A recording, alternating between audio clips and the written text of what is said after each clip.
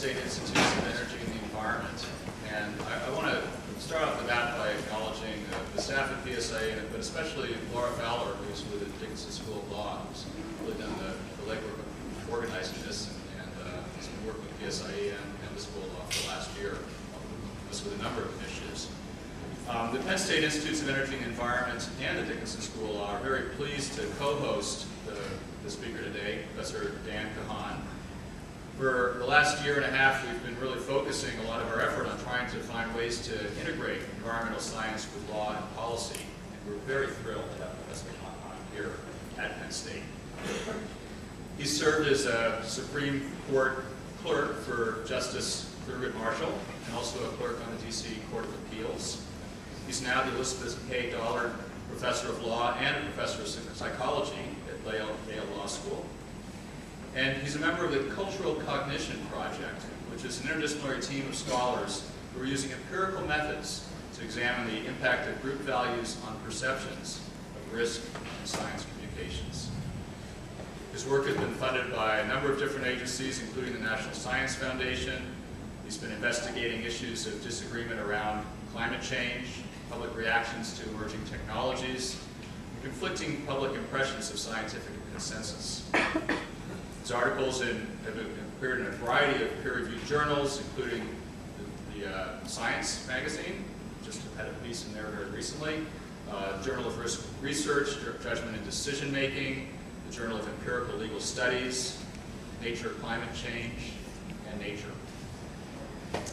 Here in Pennsylvania and at Penn State, we're grappling with a variety of issues that this work really reflects very strongly on. The cleanup of the Chesapeake Bay, the Marcellus Shale, climate change, and a variety of other critical scientific issues.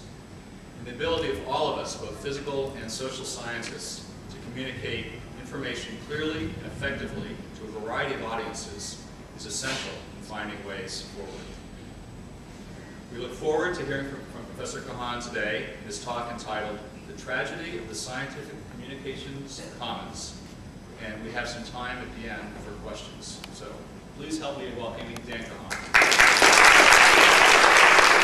Well, thank you very much. Um, and it's, it's really uh, an honor uh, uh, to be here. Um, I mean, it's really gratifying um, to know that um, an audience like this wants to hear what I want to say, um, because to me, this is the kind of audience uh, that is interested in exactly the sorts of issues that I'm interested in. Um, and I think the Institute on Energy and Environment is a model, really, um, of the way in which we're integrating the science of science communication uh, with the practice of science and, and science-informed policy making. Um, of course, I also was really glad to be here because I thought this would be a safe place to be if, in fact, Armageddon broke out today. They hadn't passed the budget and stuff. I was told that you could live off the land and everything else, but I guess I guess I'll, get, I'll, be able to go home. I might not go home, actually, because it's a really nice place. Um, so well, I'm going to talk about uh, the science communication problem. All right? And, and by the science communication problem, uh, I mean to refer to the, the failure of uh, valid, compelling, widely accessible uh, scientific evidence to quiet public controversies about risk or other kinds of policy uh, relevant facts to which that evidence speaks in a very clear and direct way. Um, and obviously climate change is the, the most conspicuous example of that. Um, but it's not the only uh, instance of the science communication problem. Um, and in fact, the, the work that I uh, do um, with John Gastil, among other people, uh, had its origins in uh, studies in the 1970s um, when psychologists uh, became interested in the divergence between the public's understanding and expert understandings of the safety of nuclear power. what explains this gulf in expert and public understandings? And a lot of this arises out of, out of that research. And of course, there are other contemporary instances of this too. I mean, you still have nuclear power to some extent. But the HPV vaccine is another good example. Or to some extent, gun control, I think, should be understood this way. Um, and part of the point I want to make um, is that uh, some of the problems that we're having and they're pretty consequential um, in this regard, uh, reflect a, a, a, a, needless and unfortunate failure uh, to make use of what we know about how people come to know science. Um, we know a lot about decision-relevant science and how to improve the lives of individuals and communities. Um, that's a really important asset, um, but we don't make a commensurate investment um, in using our best understandings of, how to deliver uh, that asset to people. Um, and it can be wasted um, for that reason. So I'm going to be kind of making that argument here. Uh, and so I'm going to be kind of making that argument here. Uh, and the three parts, uh, first, I'm going to give you some hypotheses and some evidence about what the, the nature of the science communication uh, problem is, and that this is, a, this is something that needs to be investigated empirically. You can't just guess what the problem is. Um, then I'm going to sum up the interpretation, essentially, of the evidence that I'm presenting to you. It, it, it's, it's normative and prescriptive significance. That's the tragedy of the, the risk perceptions commons. And, and then, time permitting, I'll tell you what we can do to fix it, although that's usually not that important. Actually, an issue like that. But it'll be obvious at that point. Um, so we'll start with, with, hypotheses. Hypotheses to explain the science communication problem, the failure of this accessible, compelling evidence to quiet really very divisive kinds of, of public controversies about risk and other kinds of, of policy relevant facts. And, and, I'm going to give you two, um, and, and, I'll introduce them kind of in order. Um, and, and, the first one is kind of, I think, the most familiar, the public irrationality thesis. And, the idea is that you have conflicts in the public about things like climate change because the public really doesn't fully comprehend the issues. Um, the public doesn't know um, a lot of science, so they have a hard time understanding what the scientists are trying to tell them. And they might be easily misled by other people who want them not to understand what the scientists are saying. Um, they also don't tend to think the way that scientists do. Right? Like scientists think in kind of conscious, deliberate, analytical, what, what Kahneman calls the slow system, whereas ordinary people form perceptions of risk in, in, a, in a visceral, kind of rapid, intuitive fashion, and as a result, they, they tend to, to fixate on more sensational potential sources of danger, right? So the, the, the, airplane fuselage on fire sticking out of the, the sky rise and people flying out, that's so much more compelling than the silly polar bear floating around on the ice, right? So people will overestimate that this more conspicuous risk relative to something that's not nearly as dramatic, but maybe even more consequential, and people are nodding. But you should nod because it's a perfectly plausible claim. Um, but here's something important. There are more plausible explanations of this and most interesting phenomena than are actually true. right? And if you, if you don't actually engage in empirical examination to kind of separate out the, the true or the things you, that you have the most reason to be confident in from all the rest, you can kind of drown in a sea of storytelling. Right? And decision science is filled with with mechanisms. If you just kind of treat it as a grab bag, you can pull anything out and make any kind of convincing argument you want, and you can publish it in the New York Times as an op-ed writer, or even write books and so forth. But it might not be true, right? So we want to investigate whether this is, I mean, this is, these, these are true mechanisms, but are they the ones of consequence in this context? So one study that my collaborators and I did uh, looked at how uh, the kinds of, of of dispositions that might reflect people's capacity to make sense of science relate to climate change perception risks. Right? And we took a large national sample. And really simple item, we just said how much you believe climate change, how much risk you believe climate change poses to human health, safety, or prosperity. It was on a scale of, of, of 0 to, to 10.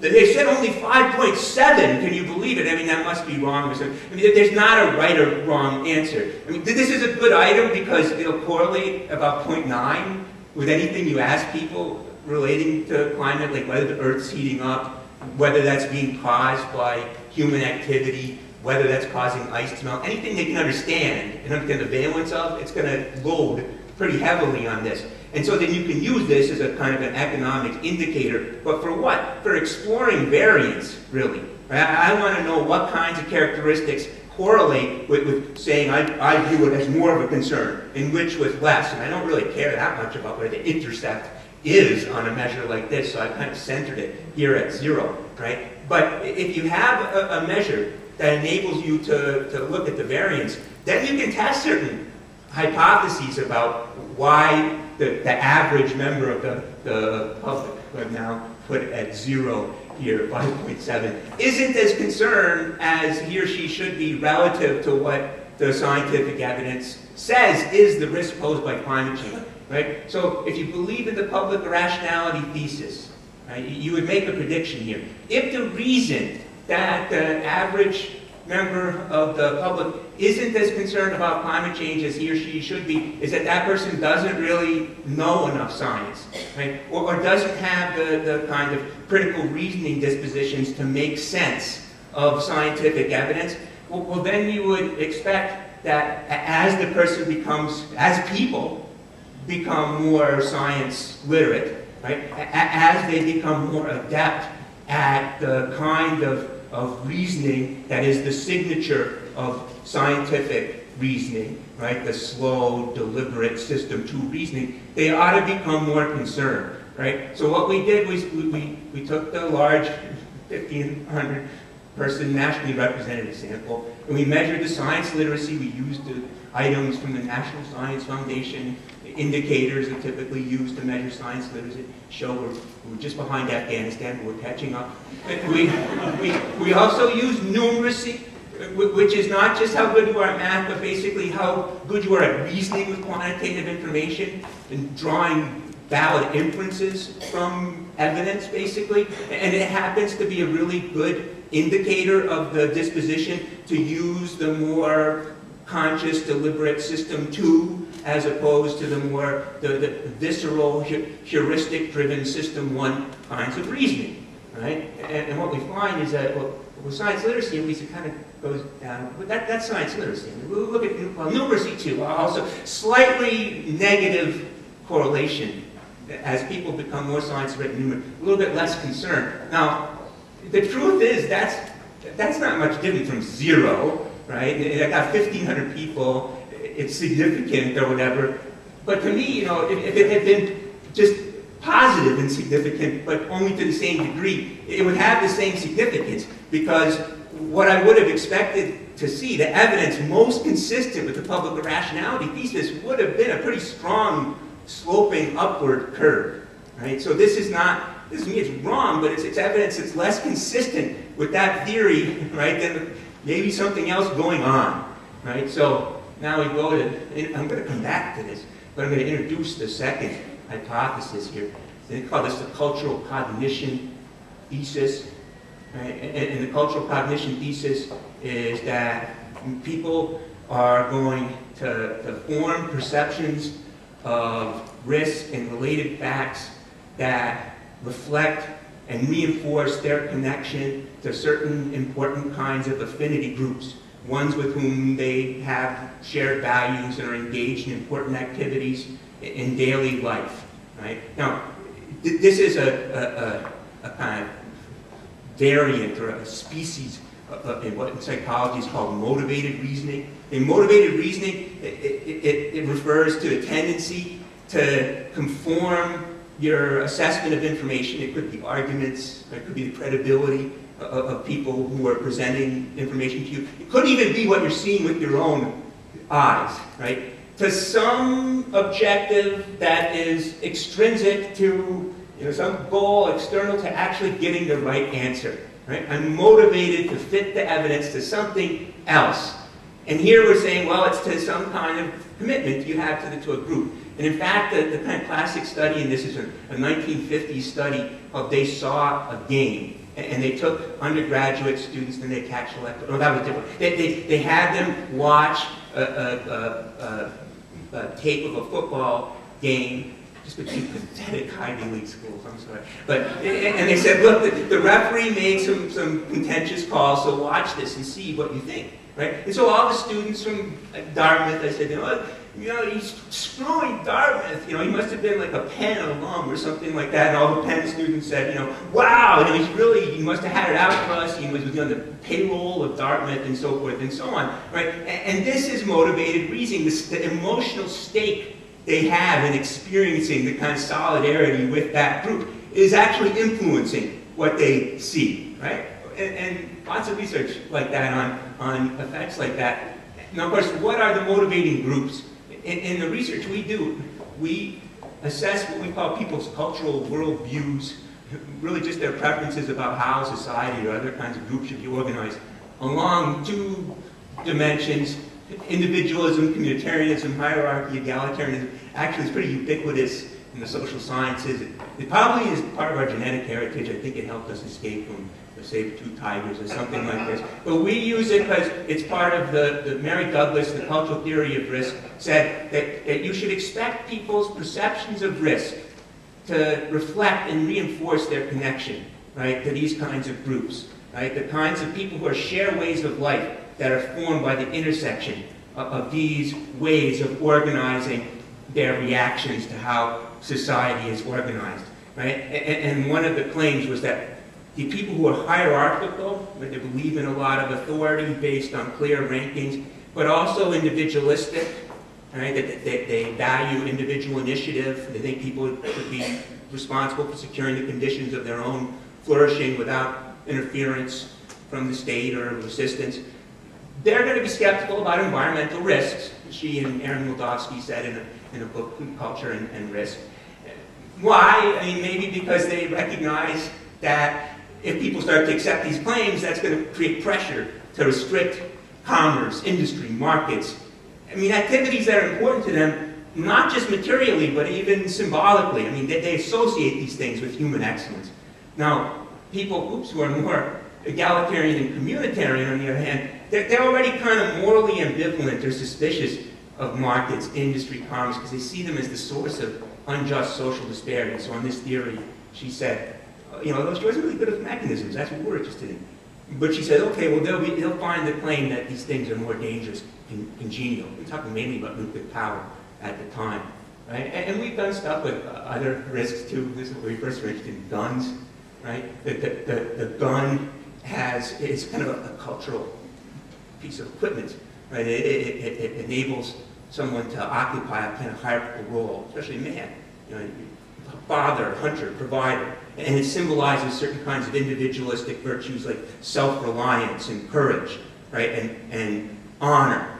And, so people who have those values, and men in particular, they're going to have a, a certain stake in access to the gun, and other people not forming views of it that would have them suffer some kind of stigma. So they don't see guns as dangerous, and in fact, they see controlling weapons, restricting their access to them could be dangerous because they couldn't protect people. Whereas the, the egalitarian communitarians, well, they associate the gun historically, it was used basically as an instrument for enforcing apartheid. It still resonates with patriarchal values. It, it, it's kind of a gesture of, of distrust for some people, like every person for him or herself. And, and that disposes them on this theory to, to see the gun as more dangerous, to see the gun control not as dangerous, but as efficacious, and, and all kinds of, of theories, correlations like this. But we're interested in mechanisms, right? And, basically, these, these groups are, for the, the, the cultural cognition thesis, what the university affiliations or college affiliations were for the students and they saw a game, right? These are the kinds of connections they're going to have that would be motivating them to make sense of evidence here about these kinds of risks that are important in their group way of life. Right? So here's a, here's a study like this. We looked at, at scientific consensus, right? people's perceptions of scientific consensus. And what we did is we asked them, do you think that these people are knowledgeable and credible experts on these issues, global warming, nuclear power, gun control, and, they all, well, one of them went to a really good school, the other one pretty good schools, um, and I'm a, my contract, I have to say stupid things like that. Um, they're all on the, the faculties of prestigious universities, all members of National Academy of Sciences, kind of the conventional kind of indicia of somebody who knows what he, we only use white males, we don't have any confounds. You know, that's it. I, I wouldn't be surprised if some of these groups would take race and gender into account, because I'm trying to control for that. But are these people experts? No. We pick these issues because we know that people with these kinds of outlooks are divided on this. We also have, have information from the National Academy of Sciences, at least what they think expert consensus is on the relevant issues. And we're giving them you know, evidence, really, about what the positions of their groups are. But we have an experimental component, right? Half the people are seeing the, the featured scientist taking a position that says, oh, there's high risk, climate change is, is happening, consensus, or we better do something. The other, the low risk. We actually take these right out of writings of people who have similar credentials, you know, judged by conventional scientific standards, premature, the computer models, et cetera, et cetera. Similar, uh, deep geologic isolation of nuclear waste, very risky, no, not risky. The concealed carry laws, right? It, it, it's very dangerous to allow people to carry concealed weapons in public, because then they might, they might use it if there's a fight or there's more guns around. No, it actually decreases crime because, well, everybody's on their kind of best behavior. They don't know who's carrying a gun. They're kind of more polite to people and so forth. this is a, I know what cultural orientation you have if you have it. Because then, of course, you know, whether you see the person as an expert now is very highly conditional on whether the pictured scientist is taking the position that's consistent with the one that predominates in your cultural group. Right? So the people who, the egalitarian communitarians, much, much more likely, 72 percentage points more likely to agree that's an expert in the climate change if the person says that that's a high risk than somebody who's the hierarchical individuals. And you get similar effect sizes with all the others. Right? So this is a kind of, this is like they saw a game. I mean, they're being shown evidence here that is relevant to what scientists might believe. Right? But they're actually only crediting it in a kind of selective way. I mean, this is a model. I don't think they're actually going around counting scientists, but they're getting information all the time about what scientists believe. Right? And if in fact they're crediting it when it's consistent with the position that's predominant in their group, and not finding it credible, well, that's some other is crank or that's not an expert on that when it's not, then they're going to kind of end up polarized on what scientists believe. They're engaged in bias sampling. Right? In fact, that's what we found, that these groups all believe that the position that is dominant in their group is supported by scientific consensus. Right? None of them is saying, screw the scientists. Right? They're all saying, well, of course, our position is consistent with scientific consensus, which is what you would expect if this is how they're processing the information. And by the way, they're all right about a third of the time. Right? I mean, the group that's right about the climate change, if we're using the, the National Academy of Sciences reports as a benchmark, they're wrong about deep geologic isolation of nuclear waste. They're both wrong about gun control. At least the National Academy of Sciences says you really can't have an expert consensus on this because the models they use are just too fragile to allow any kind of confident conclusions. Right? Nevertheless, everybody's convinced there's expert consensus on these things. I don't think one of these groups is better than the other because I don't think one of these groups is a more reliable indicator of what scientific consensus is than the National Academy of Science reports. I just think they're both likely to be picking out the evidence in a way that confirms that their view, group's view is the one that's consistent with scientific consensus. Now go back to this study, okay? And I've, I've now combined the science literacy and numeracy measure they cohere very well, form a nice scale and they don't even really load so much with education. So they're measuring something relating to science comprehension that's distinct, okay? And of course, we look at the cultural worldviews of the subjects. Oh, look how much bigger! You know, that, that's not the point. What we wanted to do was see what the interaction is. Because you could actually look at this and say, well, that's not necessarily consistent with the public rationality thesis. You might say, if people know a lot of science, if they can make sense of quantitative information, then they're going to go with the data. But if they can't, if they don't understand science, they can't understand, they go with their gut. And that's what the crap, like what do people like me believe, right? And, and then you get this kind of culture effect. But that way of looking at this would also generate a testable prediction. Right? If, in in effect, the cultural cognition, as I'm describing it, is a heuristic substitute for the, the reliance on science comprehension, then we ought to expect that the hierarchical individuals should become more concerned as they become more science literate, more numerate, and that the gap between the groups, it ought to shrink, right? Because the, the members of these groups who have the highest science comprehension, they ought to at least be, be converging. They're not relying so much on the group association.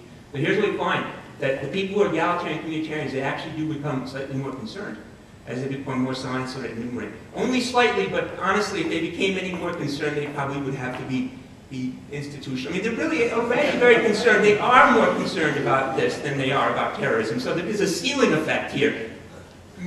but there's no ceiling effect here unless it's in the other direction. The hierarchical individuals, as they become more science literate and numerate, they become less concerned, and the gap that was already pretty big for these groups, for the low science literacy and low numeracy people, it's just getting bigger, right? So the polarization is increasing as science literacy and numeracy increases. That's not what you expect to see with the public rationality thesis. It, it, it, it's what you expect to see if cultural cognition is essentially independent of the way in which people are able to make sense of the information, right? Essentially, people are using their ability to make sense of information to find the views that fit what they, they their group believes. Right? I'll show you a couple experiments. One's published. I'll show you an unpublished experiment on this that we just did. So we asked people to look at the results of a, a mock experiment, right? So here involving skin cream. You gave skin cream to deal with a rash, right? And you tell people, well, sometimes the, the rash will go away by itself. Sometimes it actually, you know, the skin cream makes it worse. You got to do an experiment to see what the results are. And here are the results, right? And, and you summarize them in the, you know, the conventional two by two contingency table, where you see what the positive and negative results are for the treatment and for the control, right? And, and you all know, well, what do you do? People look at this and th- th- they're not very good actually at detecting covariance. They use a kind of confirmatory strategy. They go, oh, 223 got better, only 75 got worse. I guess it's working. And, and look, only 107 got better in the people who didn't use the skin. It's working, right? But that's a confirmatory strategy. What you want to know is, right, what, what the ratio of the outcomes is. Because if more people who are getting the rash, or getting the, the treatment, are getting worse, then that would disconfirm the theory. And that's what's happening here, right? The, the people who are getting the skin cream, they're, they're only three times likely to get better. People who did not, they're five times likely to get better. So the people who are getting it aren't likely to get better. They're more likely to get worse than the ones who aren't. And that, this is a, a, a, a recognized measure of how good people are at making causal inferences when covariance is at work. Now we had another version of it, same numbers, but now it's a gun ban, right? Did the restriction on concealed carry laws make crime go up, crime go down, right? And we manipulate the results, so there's four conditions, right? That, that you either skin cream or gun, and we, depending on what the, the, the heading is on that column, the experiment results properly interpreted is either showing that the rash got better or crime went down, or it's showing that the rash got worse and that crime got worse, right? And we measure the numeracy, again, of their subjects as a measure of how good they are at making inferences with quantitative information. And we did that too by, by political orientation, using political orientation here. It's a different way to measure that, that motivating group association. I guess the, the conservative Republicans in this diverse sample, they were slightly more, more numerate, but not by much. And in the, the skin rash condition, what you're seeing, it's a, it's a, it's a, a, a, a locally weighted regression line on a scatter plot, but essentially the proportion of people who are getting the right answer at the top, it's going up as you get more numerate. But basically, people who are low in numeracy, they're getting exactly the wrong answer. It's one is a really good question. You know, you you, you, it's only two answers, but the people who get it get it right aren't likely to be guessing. The people who don't know, they're much more likely to get it wrong, right? So, at about the, I guess the, the 85th percentile of numeracy, people start to get it right consistently, right? Now, that's in the skin rash. Here's in guns, And, and the people who are liberal Democrats by our measure, they're, they're getting it right when it shows that crime is decreasing, but not when it shows that crime is increasing. And, and similarly, people who consider Republicans are getting it right when it shows that crime is increasing. But they're no better than the low numeracy counterparts when it shows that the crime is decreasing, right? And, and you can fit a model to this. These are simulated results, but basically, you know, I, I would predict that somebody who's low in numeracy, right, the, the skin rash conditions doesn't make much difference what, what their political orientation is. Doesn't make much difference if they're high numeracy, eight correct, you know, if, what their, if, what their political ideology is. But now if you go down here, right, huge discrepancies in how likely you are to get it right. And there's polarization among the low numeracy groups too, but it's more compact, right? And what you see is that the gaps between the subjects who have the different political outlooks in the gun conditions at low level of numeracy, they're not nearly as, as divided. The average 25% decrease in percentage points of getting it right if it was the, the answer you didn't like relative to somebody who did like the answer. Whereas uh, among the, the high numeracy groups, 45 percentage point difference. So they're much more polarized. And the difference is that the people who are high in numeracy, they're more reliably noticing when the evidence is consistent with their, with their political outlook.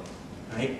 But when it isn't, they're either defaulting to the heuristic view or they're rationalizing their way out of it. And could do this with cultural outlooks, by the way.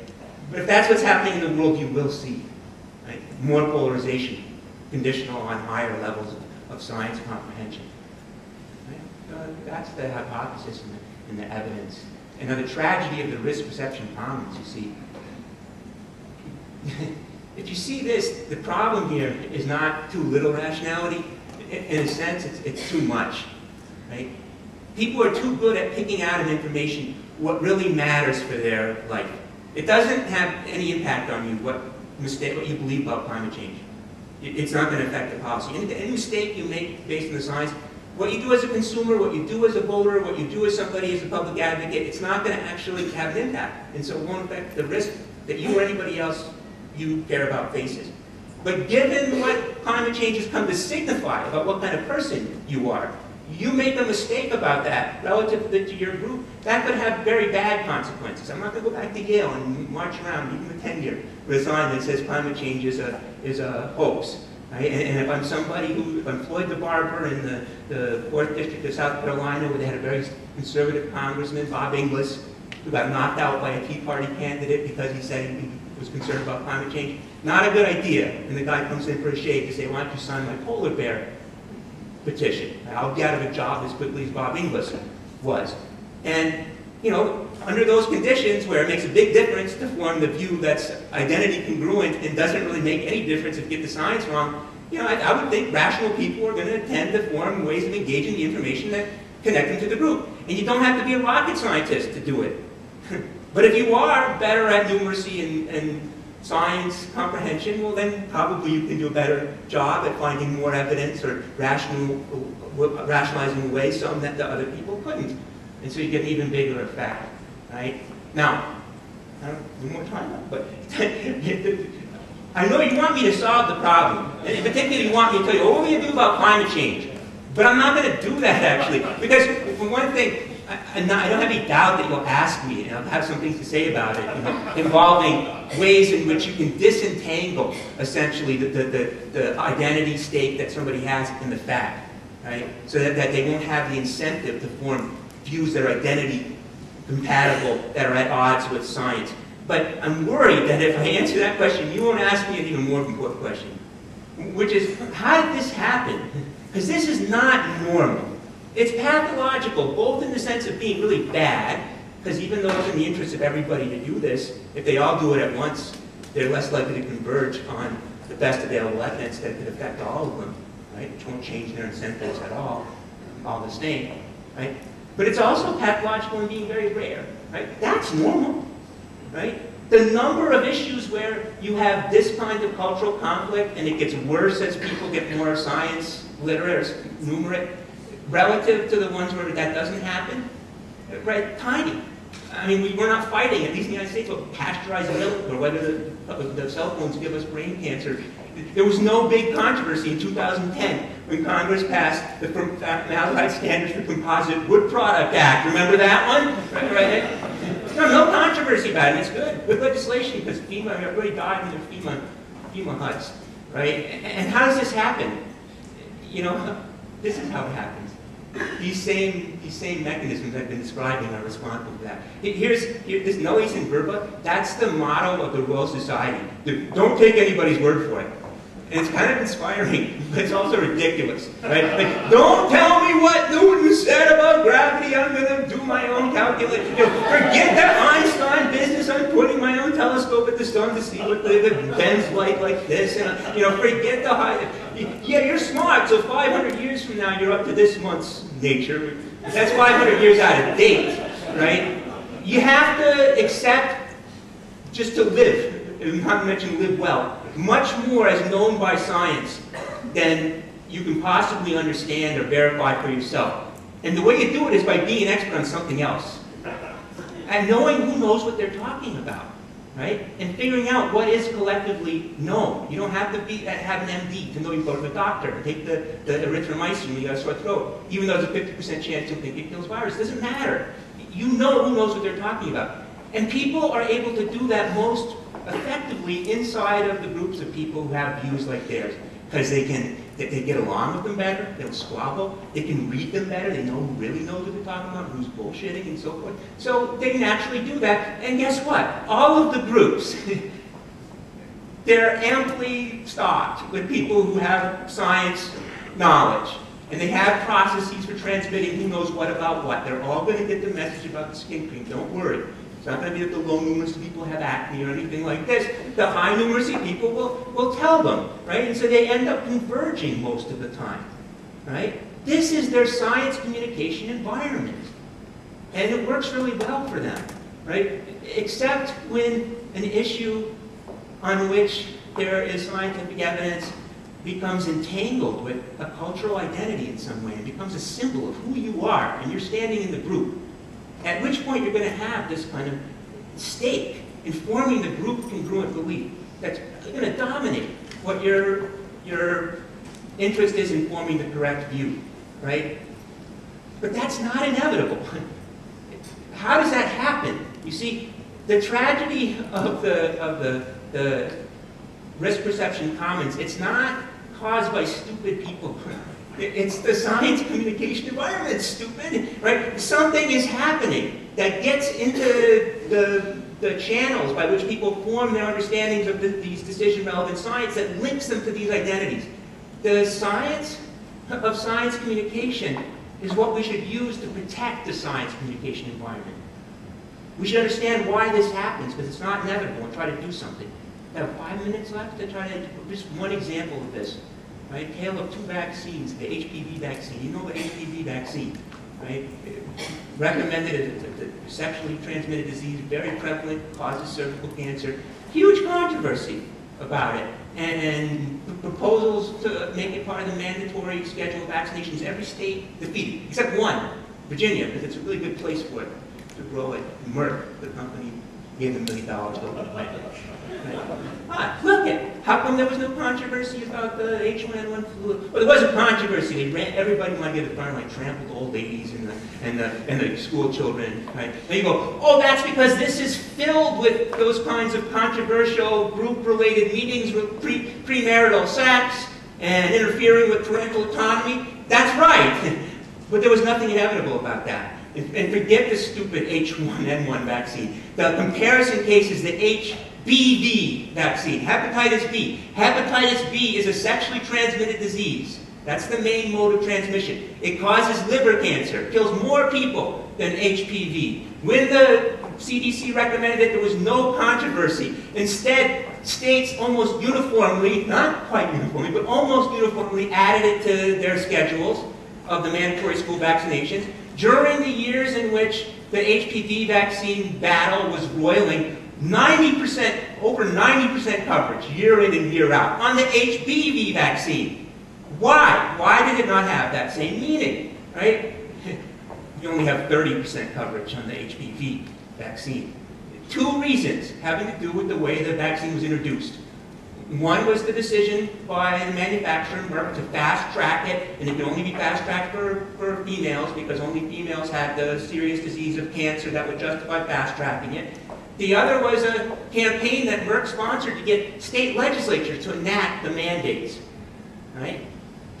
when they do that, you create a public issue. You know, people saying, hey, your daughter, you know, the one who's going to have sex next year in the swing, she needs to get a shot for STD or she can't come to school. And that's what people are learning about this kind of issue. It's suffused with the signals that this is a controversial issue. Neither of these decisions was necessary. If they hadn't fast-tracked it, it would have been approved for boys and girls, less, less jarring, in just a few years, three years later, maybe faster, right? If they hadn't pushed for the mandates, it would have been available universally, immediately, to insurance and other kinds of programs. And almost shortly, this process of adding it to the schedules would have occurred. This is done not by legislatures, but by public health administrators operating outside the scope of politics. It can't happen now because it's such a controversial issue. That wouldn't have been so good for Merck because it was competing with Smith-GlaxoSmithKline to get its HPV vaccine into the market before Smith-GlaxoSmithKline could. And it wanted to lock up all these contracts with these schools. Right? But it would have been a lot better for the U.S. public. Because then instead of learning about the HPV vaccine from the news media as a politically contentious issue, people would have learned about it from their pediatricians. They trust their pediatricians. That's why they picked them.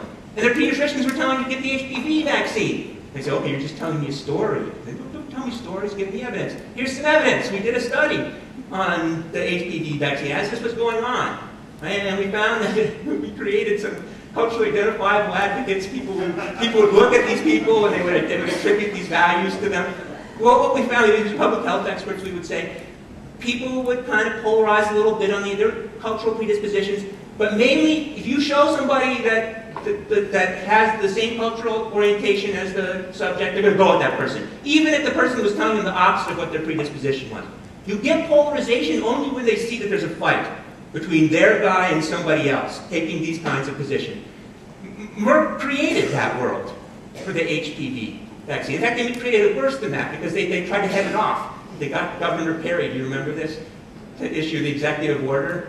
Because of course he looks like that guy in the upper left-hand corner, you know. But he's Governor Oops. So everybody finds out about it. And once they find out about it, not only does the constituency they were hoping would be, be, be mollified rebel, so does the, the group that was a natural constituency, which now sees corporations interfering, you see, with democracy. Now, this is not 2020 hindsight. People saw this happening at the time, right? In the, in the public health world, they said, don't do this, right? And it wasn't that their arguments were ignored or rejected. They weren't considered. There's no process in the regulatory regime that approves this important kind of asset, decision-relevant science for thinking what the science communication impact is, right? this could happen with nanotechnology, right? Nanotechnology, normal. Climate change, pathological, right? John and I did a study. We showed that it's not too hard to get these groups to polarize. You know, it, it certainly won't be too hard if, the, if you're an environmental group. They think ahead. You know, maybe climate change will be solved. Let's have a nano-free zone t-shirt contest. 90% don't even know what it is, but get out ahead of the issue. Right? You should be trying to forecast these things. You, you, just sit there and do nothing. What happens? You see, the science communication environment is a public good, just like the natural environment is. No one person can, can do it. It has to be public provisioning. We have we have an executive order that says every agency action has to be considered for cost-benefit analysis. Okay, that's all right. Cass something was doing that. How come there's not an executive order? You don't even need Boehner to agree to it. That would have science, the science communication impact assessment for things like HPV or nanotechnology or synthetic biology, right? But there are other actors who have to contribute to this public good too, right? Like universities, they have to, to make it part of their program to integrate the people who are doing the science of science communication with the people who study science and, and, and are learning about uh, science-informed policy making. We have models of it, including one right here, but we need more of this, right? We need to have this in, in civic civil society too. Actually, the National Academy of Sciences is making a big deal of this, right? Leading the way. Science magazine, they did just publish an issue on communication in science, right? There has to be this attention to creating. Well, creating what? A new, a new kind of political science, I want to say. Because quickly, this problem is not something just unfortunate. It's intrinsic to the kind of political order we have, right? Karl Popper says that the, uh, you only have science in a liberal society where there's no institution that can certify what has to be believed. But then, only then is the path open for a science to progress without kind of bureaucratic interference or error. But only then do people cultivate the habits of mind and the practices of collective engagement that fuel the conjecture and refutation. That's the engine of science, right? But you see, you learn so much, so much more than anybody could possibly know. Who's going to certify what's known? You know, now somebody's got to certify it, but there can't be any authoritative certifier because that would be inconsistent with the open society. Well, there's multiple certifiers, a plurality of them.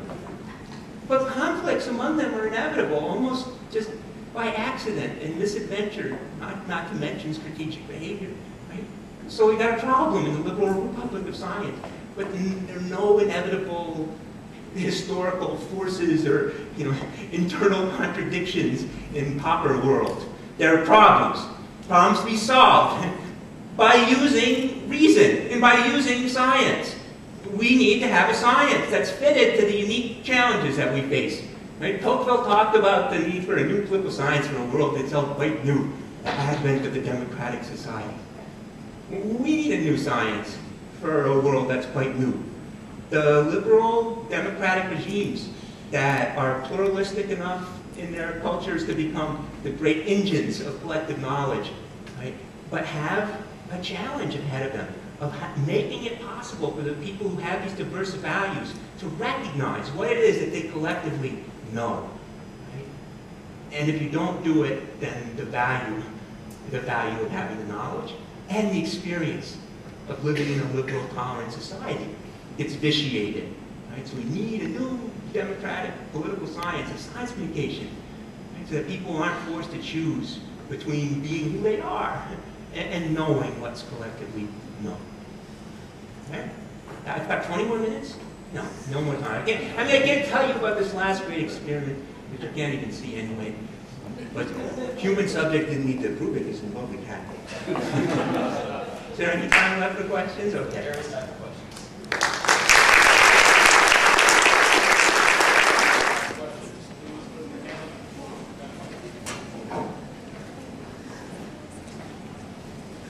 So if I understand your message, and I'm a new professor here at Penn State, you're telling me that I should really just drop my science and find a thousand new Facebook friends in order to convince them that the science behind climate I mean, you see, here's the one thing. One thing I want to convince you is that like doing valid science and communicating it are different.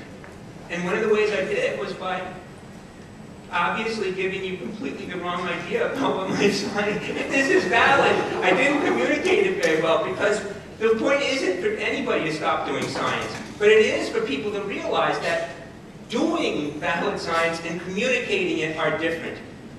If people who are doing science are doing it, that's what they do. Um, if they want to communicate it, if they're suited for it, they should. The mistake, though, is to, to conflate the task of being the scientist with being the communicator, right? I, I didn't see Cabrera, when he hit home run yesterday with the, the, doing the play-by-play, as he rounded it. You know, Tim McCarver actually manages to do, this is going over the head of him, but, but Carl Sagan, Richard Feynman, I don't know how he's a great but, but you see, th th there's a separate function. And science communication isn't only one thing either. Yes, you need to be able to communicate the substance of science to people who are going to make science-informed policy decisions. You need to explain the, the risks and benefits of somebody trying to make a decision about a medical procedure, right? But that, those aren't the same things you need to know in order to secure a, a, a, a clean science communication environment, right? It's not one size fits all. So all I'm saying is we need to have that kind of, of national science communication intelligence built in. Just have a brainstem right now. And it has to be something that all different institutions contribute to. And if you're doing stuff at a university teaching the science, there's not just one model. I don't know what the, what the right way to do it is. But thank goodness there are lots of universities trying different things. And universities should push the different departments together so that there is that kind of convergence. The thing that I think you, are most in a position, not knowing anything else about you, but to contribute to is to say, my university must be part of the project to make this new political science happen.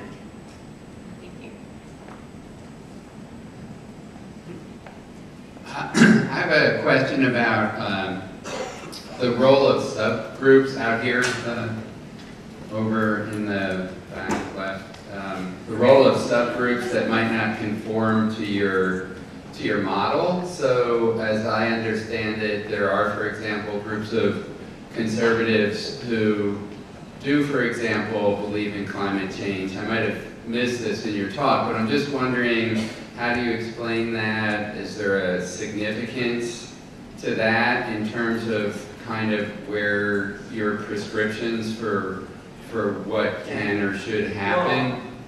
Yeah. So there's a there's a, a, a, measurement kind of response to this, but also a practical kind of response to it. Um, one of the reasons we like to use the culture measures is they're a lot more discerning than the political measures.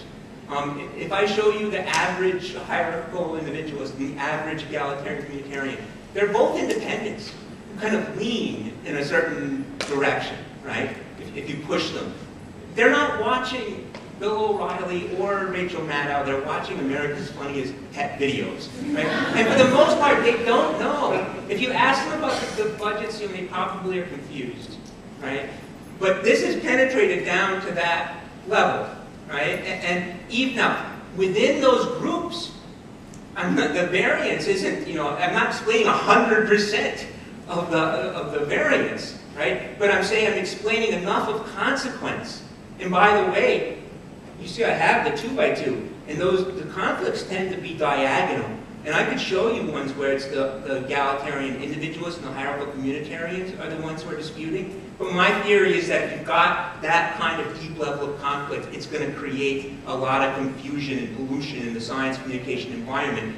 But there'll still be, you know, some people getting the message one way or the other because, you know, and for one thing, I'd like to have better measures even of what these things these things are and explain more of the variance. But I also might like to explain why it is that some people who have this kind of disposition aren't that way. You know, do they have some kind of critical reasoning disposition or what have you? But another thing is that they're a resource. Because the thing that they need information, what people are confused on is not the science. They don't know more about biology, that's why they think pasteurized milk is okay, than they do about climate science. They're just surrounded by information that assures them that the people they know who know what's going on say do this. Right? And there are people like that out there in their community. If you go to a place like Florida, you can't run for Congress in either party. It's not good idea to say, oh, I'm, I'm worried about climate change. But the Tea Party governor in the state and the state legislature passed a law saying in 2011, time for everybody to update their comprehensive land use plans because we want to make sure that we're appropriately protected in all of the ways of life here in Florida against the impacts of weather, climate, sea level, well, but you see, they had a bad climate way before climate change. Mm-hmm. When Ponce de Leon got there, it, it was a big swamp. He didn't find the, the fountain of youth. But he built Disneyland on that swamp, right? And, and now it's got orange. It's amazing. But they keep having to repel and they're used to that. I can find materials from the 1960s that talk about saltwater intrusion. And they've got land grant universities there set up for that. And they talk to them and they believe them. And when they go to have these kinds of discussions, maybe they're members of these kinds of groups on climate change, but they're just property owners, you know, or the insurance guy is saying that, or the utility company, and so forth. And what I want to do, you see, is populate their environment with the evidence of normality. You know, there's still plenty of issues of policy to talk about. But all of these peoples are, are orienting themselves with respect to the science in the right way, and even the IPCC science.